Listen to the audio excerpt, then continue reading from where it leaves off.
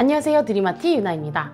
오늘은 제가 맛집으로 소문난 곱스떡스 곱창 떡볶이를 한번 먹어볼 건데요. 1시간 이상 줄 서서 먹던 그 맛집 음식을 집에서 간편하게 먹을 수 있는데요. 제가 먹어볼 메뉴는 로제 직화 통오징어 떡볶이입니다. 그리고 직화 모듬 떡볶이인데요. 곱창, 대창, 막창. 이렇게 다 들어가 있어요. 그리고 토핑도 추가했는데요. 곱창, 대창, 막창 토핑을 추가로 주문했습니다 네, 제가 주문한 이 통 오징어 들어가 있는 떡볶이. 통 오징어 말고도 닭발이 들어간 메뉴도 있었는데 제가 고민하다가 저는 통 오징어로 주문을 했어요. 여기 보시면 로제 종류가 이렇게 많이 있어요. 이 중에 저는 여기 두 번째 있는 통 오징어로 주문했습니다. 한번 먹어볼게요. 음, 음, 이 로제 떡볶이가 매콤하고 달콤하고 아주 중독성 있는 로제 소스예요.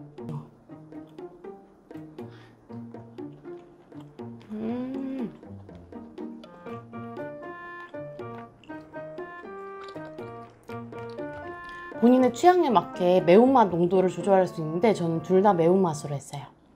순한 맛도 가능합니다.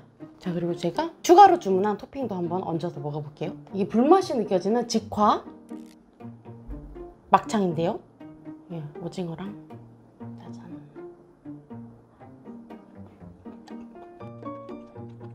너무 맛있어요. 이게 단순히 곱창 떡볶이가 아니라 곱창, 대창, 막창을 고를 수가 있어요. 로제 소스에 곱창을 넣어서 한번 먹어볼게요.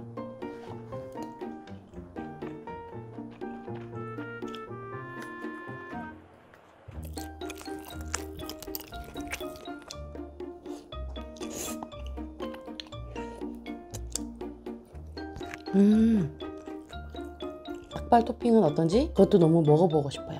다음에 한번 먹어보도록 하겠습니다. 짜잔. 음, 직화 모듬 떡볶이 한번 먹어보겠습니다. 지금 겉에서 봤을 때는 떡볶이인지 모르겠어요.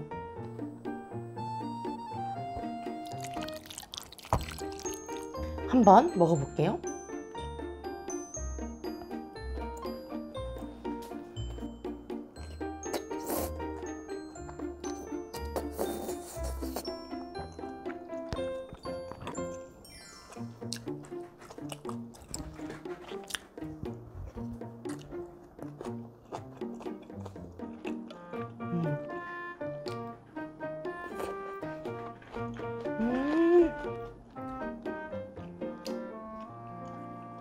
와.